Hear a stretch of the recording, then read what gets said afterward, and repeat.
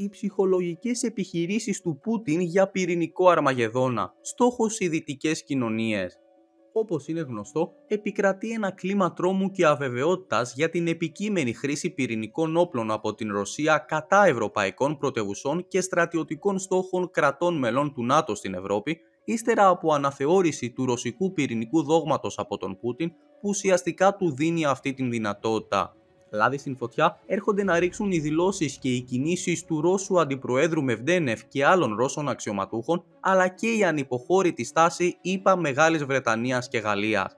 Τέλος, σε σκανδιναβικές χώρες, χώρες της Ανατολικής Ευρώπης αλλά και στην Γερμανία, έχουν κυκλοφορήσει φυλάδια οδηγιών προς τους πολίτες σε περίπτωση πυρηνικής προσβολής. Σύμφωνα δε με δημοσιεύματα της Βρετανικής Daily Mail, ο ρωσικός πύραυλος ο Resnik μπορεί να φτάσει το Λονδίνο σε μόλις 17 λεπτά, στις Βρυξέλλες σε 15 λεπτά, το Παρίσι σε 16 λεπτά και το Βερολίνο σε μόλις 12 λεπτά.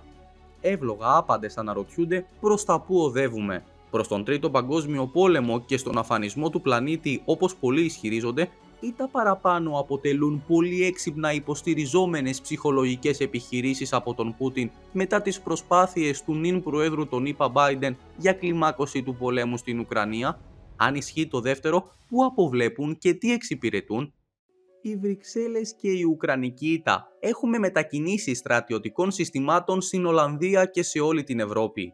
Η μεταφορά στρατιωτικού υλικού σε όλη την Ευρώπη δεν είναι καλό σημάδι. Σύμφωνα με βίντεο, έχουμε μετακίνηση οπλικών συστημάτων στην Ολλανδία, στην Γερμανία και στην Πολωνία στα σύνορα με την Ρωσία.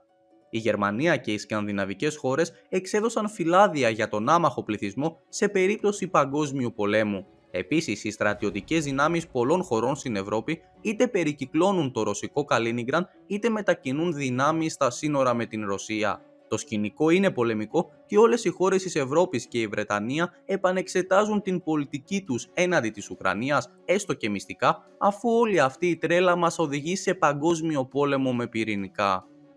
Η εκλογική νίκη του Τραμπ οδήγησε το Κρεμλίνο να διπλασιάσει ένα επικίνδυνο στοίχημα ότι η επιθυμία του ίδιου για ταχεία επίλυση του πολέμου στην Ουκρανία θα οδηγούσε σε μια διευθέτηση που θα παγώσει την σύγκρουση, νομιμοποιώντας τα εδαφικά κέρδη της Μόσχας. Από τις εκλογές της ΗΠΑ, οι ρωσικές δυνάμεις έχουν εντείνει τη στρατιωτική τους επίθεση, η οποία αναμένεται να συνεχιστεί μέχρι την ορκομοσία του Τραμπ, καθώς ο Ρώσος πρόεδρος Βλαντιμίρ Πούτιν στοχεύει να ενισχύσει την διαπραγματευτική του θέση. Το Ατλαντικό Συμβούλιο ζητά από την Ευρωπαϊκή Ένωση να μείνει ακλόνητη. Παρά την επιθυμία της Ευρώπης για σταθερότητα στα ανατολικά της σύνορα, δεν πρέπει να αποδεχθεί κανένα ψήφισμα που θα παγιώνει τα ρωσικά εδαφικά κέρδη στην Ουκρανία, τονίζει το συγκεκριμένο Ινστιτούτο. Πράγματι, αρκετοί δείκτες υποδηλώνουν ότι ο πόλεμος μπορεί να εισέρχεται στην τελική του ευθεία. Το ίδιο Ινστιτούτο αναφέρει ότι η πορεία που χάραξαν η Παροσία οδηγούν σε παγκόσμιο πόλεμο τους επόμενους 12 έως 18 μήνες, καθώς η Ρωσία αντιμετωπίζει τρεις κύριες προκλήσεις που θα μπορούσαν να αλλάξουν την τροχιά της σύγκρουσης σε βάρος του Κρεμλίνου. Πρώτον, η ρωσική οικονομία βρίσκεται υπό σοβαρή πίεση από τις οικονομικές απαιτήσεις του πολέμου.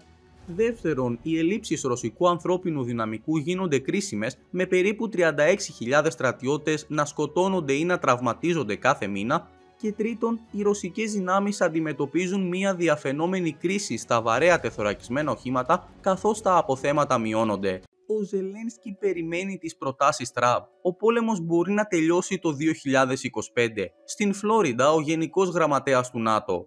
Μία από τις βασικές εξαγγελίες του Ντόναλτ Τραμπ πριν την εκλογή του για δεύτερη φορά στον Λευκό Οίκο αφορούσε τον τερματισμό του πολέμου στην Ουκρανία και στην Μέση Ανατολή σε 24 ώρες. Δεν θα είναι ένας εύκολος δρόμος, αλλά είμαι βέβαιος ότι έχουμε όλες τις πιθανότητες να τα καταφέρουμε το επόμενο έτος, είπε ο Ζελένσκι.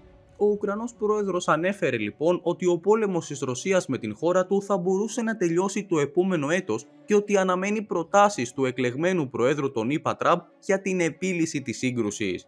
Όσον αφορά το πότε θα τελειώσει ο πόλεμος, όταν η Ρωσία θέλει να τελειώσει αυτός ο πόλεμος, όταν η Αμερική θα έχει ισχυρότερη θέση, όταν ο παγκόσμιος νότος θα είναι στον πλευρό της Ουκρανίας και στο πλευρό του τερματισμού του πολέμου, δήλωσε ο Ζελένσκι σε συνέδριο για την επισητιστική ασφάλεια, σύμφωνα με το κρατικό πρακτορείο ειδήσεων Ukrinform.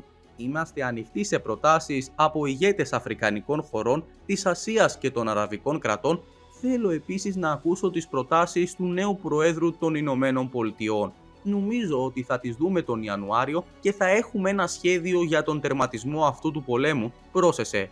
Υπενθυμίζεται ότι την περασμένη εβδομάδα ο Ζελένσκι δήλωσε στον Ουκρανικό δημόσιο ραδιοτηλεοπτικό φορέα Σάσπλιν ότι ο πόλεμος θα τελειώσει γρηγορότερα όταν αναλάβει πρόεδρος ο Τραμπ, προσθέτοντας πρέπει να κάνουμε τα πάντα για να διασφαλίσουμε ότι ο πόλεμος θα τελειώσει το επόμενο έτος με διπλωματικά μέσα. Μαζικό ρωσικό σφυροκόπημα σε όλη την Ουκρανία. Χτυπήθηκαν μισθοφόροι σε Κίεβο, Οδυσσό και Ζητομίρ, ενώ το Τερνοπόλ βίωσε ολικό blackout. Όπως εχθές, έτσι και σήμερα λοιπόν, οι ρωσικές ένοπλες δυνάμεις στόχευσαν για άλλη μία φορά ξένους μισθοφόρους που πολεμούν στο πλευρό του Ουκρανικού στρατού. Συγκεκριμένα τις τελευταίες ώρες έγινε γνωστό πως τα ρωσικά στρατεύματα έπληξαν διάφορες περιοχές της Ουκρανίας και κυρίως στην περιφέρεια Ζητομίρ.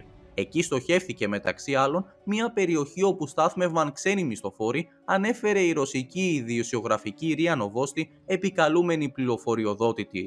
Σήμερα το βράδυ δέχτηκαν σφοδρό πλήγμα. Χτυπήθηκε η περιοχή Ζητομίρ και κατ' επέκταση χτυπήθηκαν σημεία προσωρινής παράταξης ξένων μισθοφόρων του Ουκρανικού στρατού, ανέφερε η πηγή. Σύμφωνα με τον πληροφοριοδότη, στο σημείο βρίσκονταν σταθμευμένοι μισθοφόροι της Ουκρανίας με καταγωγή από την Λατινική Αμερική.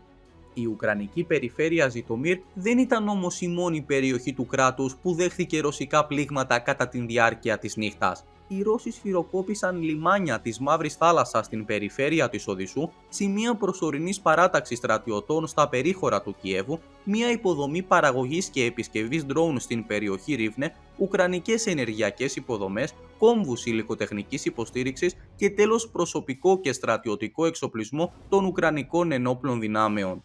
Στην περιοχή της Σταροκωνσταντίνοβ στοχεύθηκε μια αεροπορική βάση και μια αποθήκη όπλων, ενώ στην περιοχή Τερνοπόλ στόχος έγινε ένα πεδίο εκπαίδευσης και μια αποθήκη στρατιωτικού εξοπλισμού. Ως αποτέλεσμα, η πόλη Τερνοπόλ των 200.000 κατοίκων βίωσε προσωρινή διακοπή ρεύματος.